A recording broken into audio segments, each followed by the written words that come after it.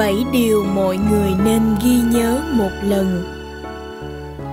Mẹ, mang nặng đẻ đau 9 tháng 10 ngày ngày đêm chăm bẩm, dưỡng dục, chăm sóc con cái nên người. Cha cũng dốc cạn tâm sức che chở, lèo lái con thuyền gia đình, trải qua biết bao sóng gió cuộc đời để con được trưởng thành trong sự bình yên, êm ấm từ phút con oa oa tiếng khóc chào đời, đến khi cha mẹ khép chặt đôi mi, tạ từ thế gian, cha mẹ mới thôi không dương vấn bận lòng về những đứa con thân yêu của mình. Vậy nên, đạo làm con có bảy điều nhất định phải ghi nhớ. Một, thuận theo thiên đạo, làm con phải lấy chữ hiếu làm đầu. Con cái phải luôn ghi nhớ và tìm cách báo đáp công ơn, dưỡng dục trời biển của cha mẹ. Con cái không hiếu thuận với cha mẹ thì trời đất cũng chẳng dung, phúc báo, bổng lộc cũng theo đó mà tiêu tan. Tai ương họa hại thì nhau kéo tới. Ngược lại, thuận theo thiên đạo thì được trời ban phúc lành, gia đình hạnh phúc con cháu đời đời hưng dượng. 2. Cha mẹ gọi phải thương ngay, đừng để cha mẹ lo lắng, sốt ruột khi không nhìn thấy con mình. Khi cha mẹ giận dữ cũng không được tỏ thái độ hằng học, dùng dằn hay cãi lại.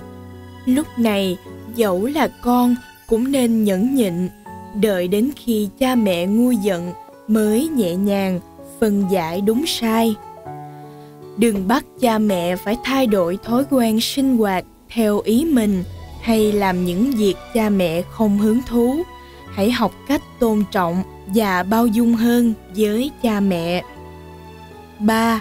Hiếu thuận không chỉ thể hiện ở việc cung phụng vật chất hay chăm sóc, phụng dưỡng cha mẹ khi già yếu, ốm đau, bệnh tật, ngay trong cuộc sống thường nhật, ngay khi cha mẹ còn khỏe, con cái cũng cần thường xuyên quan tâm, vấn an sớm tối đừng vì công việc bận rộn hay chỉ biết chăm lo, vui dày với gia đình nhỏ của riêng mình, mà thờ ơ, lạnh nhạt, không quan tâm, hỏi han tới cuộc sống của cha mẹ khi gặp mặt cha mẹ, cần giữ nét mặt hòa ái, tươi vui để cha mẹ yên lòng 4. Anh em phải biết chung sống thuận hòa và đỡ đần nhau lúc khó khăn, hoạn nạn. Anh em như tay với chân đều từ tinh cha quyết mẹ mà thành thân người, đều là khúc ruột của cha mẹ. Nếu giữa anh em xảy ra bất hòa, mâu thuẫn thì cha mẹ cũng chẳng thể ăn ngon miệng, ngủ ngon giấc, lại thêm phần xấu hổ với hàng xóm, họ hàng chỉ khi con cái hòa thuận, yêu thương nhau, cha mẹ mới được thảnh thơi cõi lòng. Năm, phải tu dưỡng bản thân là một người nhân nghĩa, có ích cho xã hội. Khi ấy, cha mẹ mới có thể tự hào, ngẩng cao đầu với bàn dân thiên hạ. Ở nhà hiếu kính với cha mẹ, nhưng ra ngoài lại làm điều càng quấy, gây tổn hại đến người khác thì những lời oán thán quở quan đến tai cha mẹ sẽ khiến cha mẹ mất mặt và hổ thẹn với thiên hạ bởi lẽ từ xưa đã có câu con dạy cái mang 6. Nếu phát hiện cha mẹ làm những việc không đúng với đạo lý, dẫu phận là con cũng không thể nhắm mắt làm ngơ để cha mẹ phạm phải điều xấu, điều ác mà bị báo ứng về sau.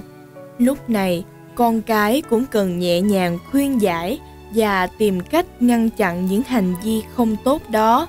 Như vậy mới thật sự là hiếu thuận và tôn kính cha mẹ. 7. Phải luôn yêu thương và chăm sóc thật tốt cho bản thân để cha mẹ yên lòng. Đừng để thân xác gầy mòn, ốm đau bệnh tật mà cha mẹ phải âu sầu, phiền muộn thân xác tuy là của bản thân nhưng lại cũng là một phần cơ thể cha mẹ nên không được tùy tiện làm tổn hại tới cơ thể mình, đặc biệt là trong cuộc sống. Dẫu gặp phải trắc trở hay khổ nạn gì cũng không được nghĩ quẩn mà tìm đến cái chết. Bởi lẽ, cha mẹ sẽ chẳng thể gánh chịu nổi nỗi đau xé lòng, người đầu bạc tiễn kẻ đầu xanh. Nỗi đau ấy dẫu ngàn thu cũng chẳng thể nguôi ngoai. Hãy luôn nhớ rằng nụ cười của con là niềm hạnh phúc vô bờ của cha mẹ. Giọt nước mắt của con là nỗi đau dài dứt cứa vào tâm can của mẹ cha. Quý vị đang nghe kể chuyện trên kênh youtube Ngọc Ngân. Mời quý vị đăng ký kênh youtube Ngọc Ngân để hàng đêm vào lúc 19 giờ nghe những mẫu chuyện hay và ý nghĩa.